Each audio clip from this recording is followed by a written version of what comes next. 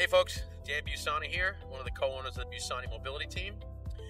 And just want to take a minute of my day to take a minute of your day and say thank you for all that you've done for us. Uh, this is our 50th year in business, and needless to say, we couldn't have done any of this without you. So, from myself and from my business partners and my whole team, uh, on our 50th year, thank you very much for your continued support, your continued business,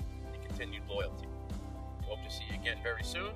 So, from all of us at the Bussani Mobility Team, happy Thanksgiving and please enjoy a healthy and happy and safe holiday season.